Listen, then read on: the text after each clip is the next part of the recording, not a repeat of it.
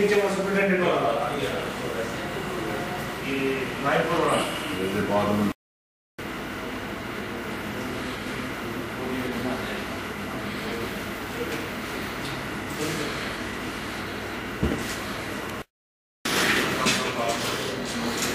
ये ये है ना? ये सिग्नल तोड़ रहा है। लाल वाला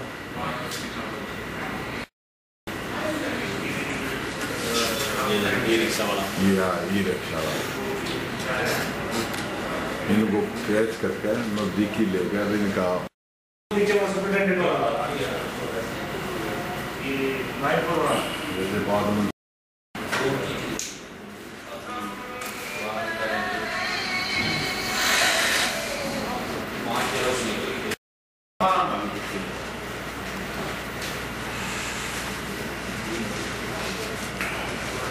Thank you.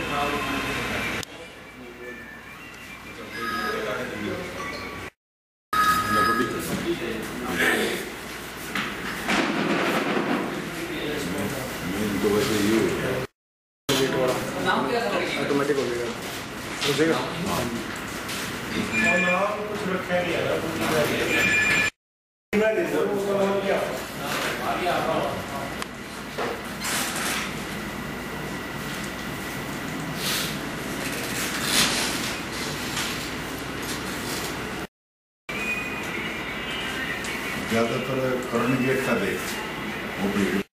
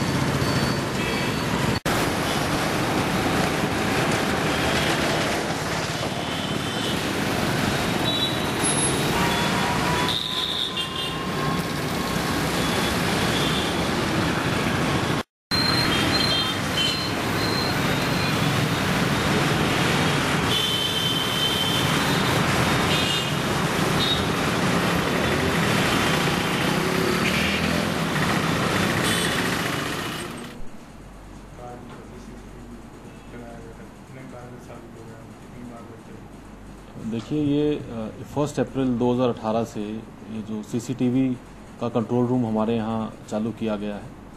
इसमें पूरे शहर में करीब 30 लोकेशंस पे सीसीटीवी कैमरा इंस्टॉल किए गए हैं और डेढ़ सौ के आसपास संख्या कैमरास की है। और इसकी सभी की मॉनिटरिंग जो डिस्ट्रिक्ट पुलिस हेडक्वार्टर का कंट्रोल रूम है, वहाँ से की जाती है। इसके बहुत ज़्यादा फ़ायदे हैं, चाहे वो प्रिवेंशन या डिटेक्शन ऑफ़ क्राइम की बात हो, या ट्रैफ़िक की रेगुलेशन की बात हो, या एजिटेशन जो होते हैं, उसको मॉनिटर करने की बात हो। तो स्पेसिफिक केसेस भी हैं, हमारे काफ़ी केसेस सीसीटीवी कैमरे की वजह से वर्कआउट हुए हैं। काफ़ी बड़े केसेस हैं, कई स्नैचिंग के हैं रॉबरी के हैं। और चलानिंग भी हम जो अब पोस्टल चलान कर रहे हैं, केवल सीसीटीवी फुटेज देख के, करीब आई, अट्ठाईस के आसपास अब तक चलान किए जा चुके हैं। डेली पचास से सौ के बीच में इसमें हम चलानिंग जो है, सीसीटीवी कैमरों की मदद से की जा रही है। इसके डबल फ़ायदे हैं, एक तो जो हमारी मैन पावर की काफ़ी शॉर्टेज है, आप जानते हैं। एक तो मैन पावर की शॉर्टेज को भी ये पूरा कर रहा है। दूसरा, यदि कोई सिपाही खड़ा होकर चलान करता है तो उसे एक और परेशानी का सामना करना पड़ता है। कभी कोई किसी के फ़ोन कराता है सिफारिश के, कोई किसी के। तो फुटेज में उसमें कंप्लीट पिक्चर आती है, गाड़ी का नंबर होता है, और उसी हिसाब से उसमें पोस्टल चलान किया जाता है। ऐसी स्पेसिफिक केसेस हैं करीब 28 ऐसे मामले हैं हमारे जिसके अंदर बहुत मददगार साबित हुए हैं सीसीटीवी कैमरे जिसके अंदर स्नैचिंग के केसेस हैं मोटर व्हीकल थेफ्ट के केसेस हैं एजिटेशंस को मॉनिटर करने के केसेस हैं तो कुछ ऐसे स्पेसिफिक केसेस भी हैं जनरल जो उसकी यूसेज है उसके अलावा। सर कोई ऐसी मेन लूट की वारदात या मर्डर की वारदात जिससे कवर की हो जिसमें ज़्यादा देखिए बहुत अभी रिसेंटली जो लूट हुई है उससे बहुत मदद मिली है। अब जो 25 लाख की लूट हुई है उसमें क्योंकि वो जो ऑफ़िस के अंदर सीसीटीवी कैमरा था उसका डीवीआर वो साथ ही ले गए थे। लेकिन आसपास और भी कैमरेज थे। तो जिससे कि हमारे को काफ़ी इन्फॉर्मेशन प्राप्त हुई उनकी गाड़ी के बारे में अब उनकी ऑलमोस्ट पहचान हो चुकी है। उनका रूट भी क्लियर हो गया। तो काफ़ी मददगार साबित होता है। तो ही गया नाम आ गया? दो नाम है। दो तो हंड्रेड परसेंट पहचान हो गई गैंग का और क्लियर हो जाए और डिटेल कंफर्म हो जाए पहले। कितने लोग थे? वो तो चार? चार आए। थे चार। शहर भर में 30 लोकेशंस पर लगे करीब 150 सीसीटीवी कैमरे। आजकल करनाल पुलिस के लिए तीसरी आँख का काम कर रहे हैं। हम आपको बता दें कि जो पिछले दिनों नगर निगम और करनाल पुलिस की तरफ़ से किस तरह से जो एक कैमरे करनाल में लगाए गए थे एक अच्छी क्वालिटी के कैमरे लगने से कहीं ना कहीं करनाल पुलिस के लिए दोहरा काम किया जा रहा है जहाँ करनाल पुलिस घर बैठे ट्रैफ़िक नियमों का पालन न करने वाले लोगों के घर चलान भेज रही है। वहीं दूसरी तरफ़ अब तक करनाल पुलिस 28 ऐसी वारदातों का खुलासा भी जो है, इन लगे सीसीटीवी कैमरों से सुलझा सकी है। हम आपको बता दें कि अभी कुछ ही दिन पहले सेक्टर सात में जो एक 25 लाख की डकैती भी हुई थी, उसमें भी इन कैमरों की मदद से करनाल पुलिस उनको लगभग ट्रेस कर चुकी है और जल्दी जो है उसको खुलासा भी करेगी। वहीं कई ऐसे चेन स्नैचिंग पर स्नैचिंग के मामले हैं, कई ऐसी वारदातें हैं जिनका खुलासा करनाल पुलिस इन्हीं कैमरों की वजह से जो है कर पाई है। तो कहीं ना कहीं हम आपको बताएँ कि इन कैमरों की वजह से करनाल पुलिस को काफ़ी ज़्यादा सहायता मिल रही है। वहीं करनाल पुलिस के लिए कैमरे तीसरी आँख का काम कर रहे हैं। इस बारे में जानकारी देते हुए करनाल पुलिस अधीक्षक सुरेंद्र सिंह बोरिया ने बताया कि करीब 40 से 50 चलान रोज़ाना जो है घर पहुँच रहे हैं। उन लोगों के जो ट्रैफ़िक नियमों की अवहेलना करते हैं और इन कैमरों की नज़र में आ जाते हैं। अब तक करीब 2800 चलान ऐसे हैं जो लोगों के घर में पहुँच चुके हैं। Kamal Midha Karnal breaking news Karnal